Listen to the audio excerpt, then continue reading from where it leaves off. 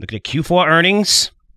Came in at $3.30. They beat by one cent. Sales a little light. Stock's getting hit today. It's down about 5% on this news. I think it should be down even more. The stock is up year to date, but it's crazy given the massive headwinds that we're seeing. I mean, higher rates, yes, higher rates was a story, and yes, you know, the Fed's raising rates. Have you seen where rates have gone in the past couple of weeks? Last three weeks? Because of the reports that we got showing that inflation is not slowing any place anywhere near the Fed wants it to be slowing it. So you're looking at, at not just macro part, right? But but you're looking at, at existing house, even the common sense, right? Just use your common sense behind it.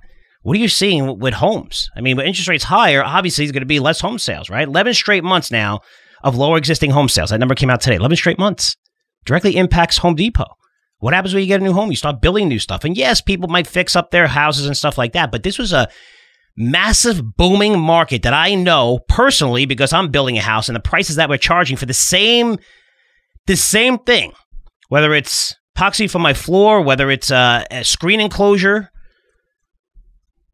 I mean, the prices range from, I mean, anywhere you know, pricing wise, five thousand, and for the same job, people will quote me twelve thousand. It's insane, and they enjoy this great bull market. Just lower interest rates, free money, everybody buying houses, just a massive market. Well, that's what happens we have super, super low interest rates, which we don't have anymore. Hey, where are mortgage rates today? Are they over 6.5%? They were 3% to start last year in January. That's a massive, massive difference. It takes a lot of people out of the market in terms of affordability. This is Home Depot. This is the home builders, and the home builders continue to go up. They're finishing their projects. But what about a year from now? Two years from now? What's going to happen? And you think they should be trading at all time highs? Business is going to be better next year than it's ever been for these companies in history? Are you crazy? Over the next few years, where rates are? highest levels since man. Hey, look at inflation where it's since the 80s. So look at CEO at a conference call said he expects more price sensitivity. So what does that mean? Lack of pricing power. And it's evidence when you look at their numbers, guys. So you're seeing transactions, and you saw this a lot. You saw transactions down, right? So the amount of transactions, amount of people buying stuff are down.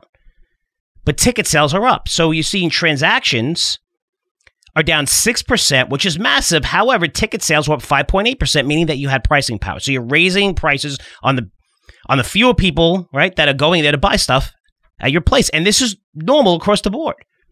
But usually those ticket sales were higher than transactions being down. So now transactions are down 6%, but ticket sales up 5.8%. So you have these customers buying less, right, paying more, buying less. Now you're losing pricing power which is huge.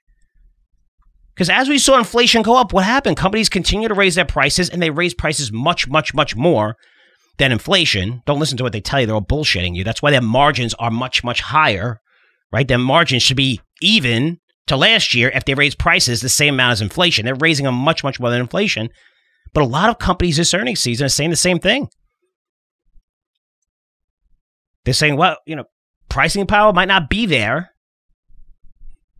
and you had Home Depot, so you notice the deceleration was more pronounced in Q4. So not seeing it better again.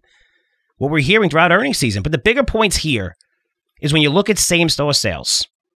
Same store sales are sales. Is the big metric in retailers, and restaurants. They're, they're from sales from stores that are open 12, 12 months or more.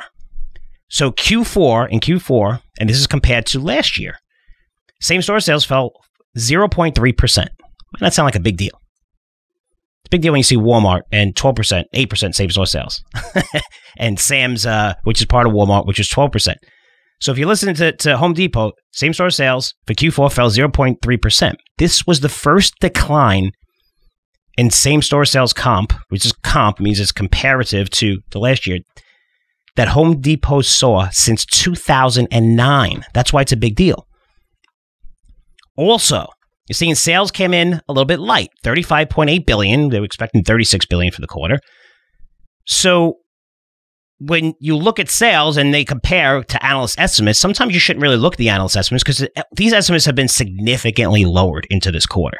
right? So you're just seeing a number on TV and be like, wow, they beat. That's great. They beat. But it's significantly lowered, right? The analysts lowered those estimates. So let's put this into real world terms. Because if you're looking at the sales that they report, 35.8 billion, it amounts to a 0.3% increase year over year in sales. If you're looking from this year, they reported Q4 into next year. So this year, those earnings are $16.69. Next year, you know what they're going to be? $16.65. That's a decline year over year. So you're looking at, at sales relatively flat, earnings expected to decline year over year, yet Home Depot is trading at 18 times forward earnings. And you say, wait a minute, Frank, but these companies are going to do a great job cutting costs. And that's been the theme. That's been the theme. Let's cut costs. Let's show that, you know, we have these structures. Let's lay off employees. And that's resulting in a boost to earnings. And right now, that is the thing that Wall Street wants to see. We saw that with Meta, popped 20% plus. It was the cost cutting. It wasn't like the quarter was absolutely great. The stock was down, what, 50, 60% from its highs and it ramped up higher, but it, you know, cost cutting. And that's what they wanted to see. That's what we're seeing. But listen to this with Home Depot, because this is bad news here.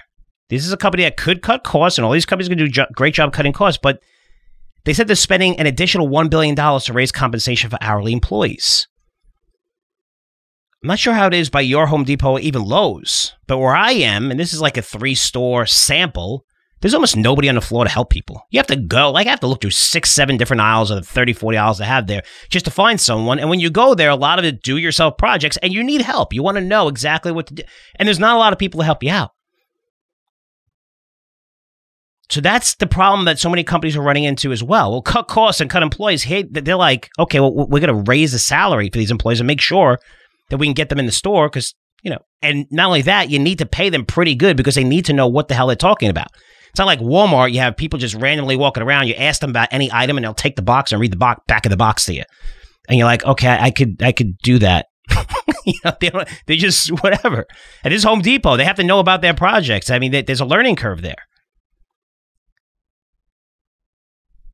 So it's not going to make it easy for Home Depot to, to cut costs to beat these analyst estimates, which again are going to be revised sharply lower going into quarters and quarters and quarters, which we're seeing in the past three quarters, two quarters. Now we're seeing into next year.